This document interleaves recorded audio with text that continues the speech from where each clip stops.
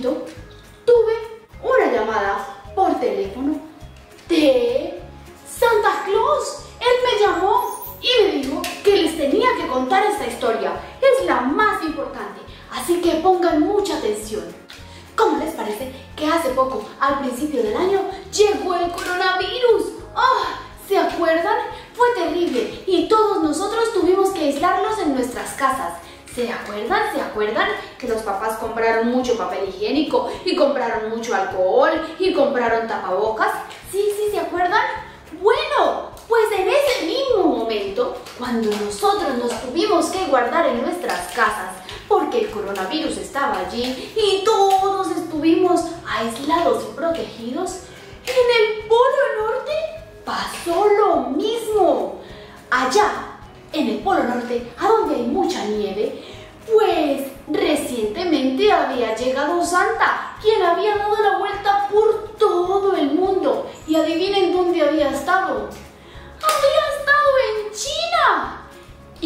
probable que tuviera coronavirus. Por lo tanto, a todos los que estaban construyendo, haciendo juguetes y haciendo cositas para repartir en Navidad, tuvieron que aislarlos a todos.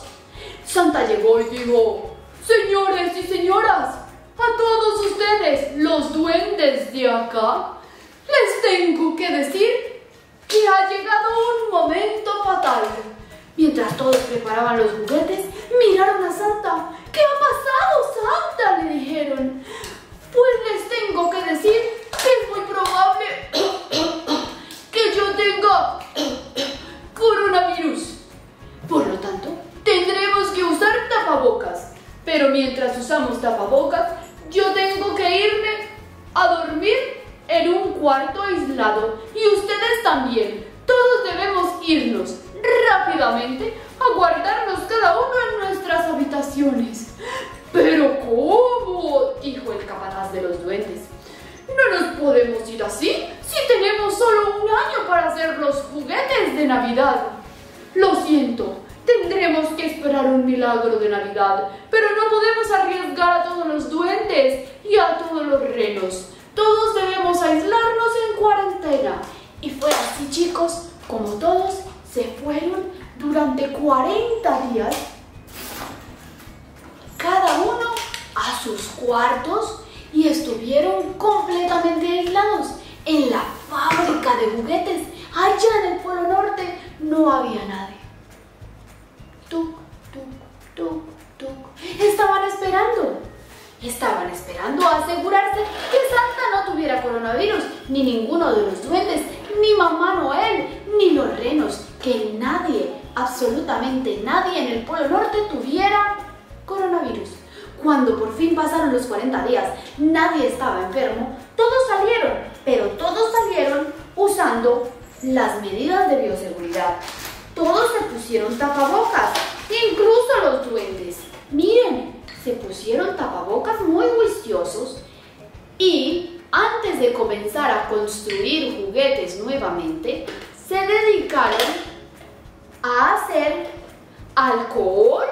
muchos tapabocas y, esperen, les voy a mostrar, termómetros para repartir por todo el mundo.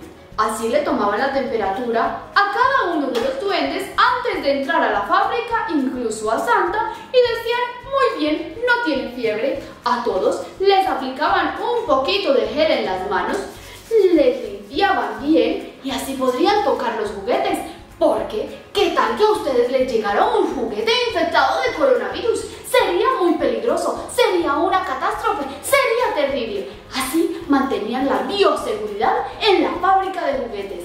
Todo estaba preparado para mantener la salud y el bienestar, tanto de ustedes niños como de los duendes de Santa y los renos. Pero por fin podían llegar. Así que estaban rogando por un milagro de Navidad y se pusieron a trabajar.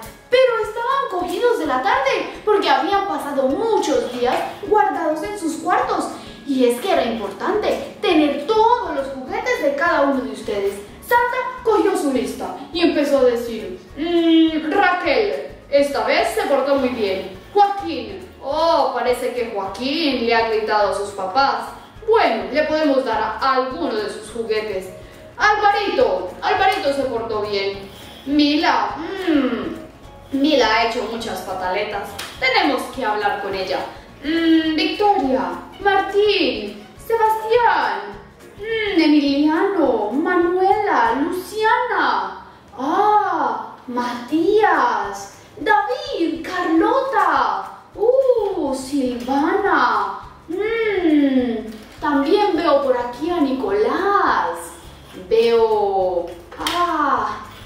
A Sandra ya le costaba ver. Tenía que tener un tapabocas y las gafas. Y a veces las gafas se le empañaban un poco por la respiración. Pero aún así leía la lista y veía... Mmm, unos se portaron mal, unos se portaron bien, unos se portaron muy mal. Unos se quedaron sin dormir. A las 12 seguían despiertos. Hmm, mal hecho, mal hecho. ¡Ah! Otros estuvieron enfermitos. Bueno, y así fue como Santa decidió los regalos más importantes que tenían que hacer. Y otras cosas de la lista las aisló, porque tenía muy poco tiempo.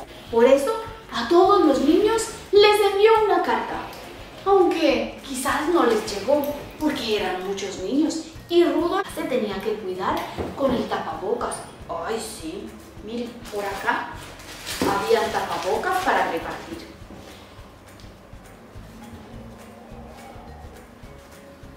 Rudolf tenía que ir a todas partes a repartir la carta y en algún momento se le cayeron las cartas y no le llegaron a todos los niños. Por eso Santa me llamó y me dijo que les contara esta historia, para informarles que es muy probable que este año no les llegue todo lo que pidieron en su carta y que no tuvo tiempo de hacerlo, pero les promete que les va a enviar mucho amor, mucha magia de Navidad y que ese es el regalo más importante que él tiene para entregar. ¿Les parece bien? Pues a mí me pareció muy bien. Yo hablé con Santa y le dije que me encantaba el regalo que les iba a enviar.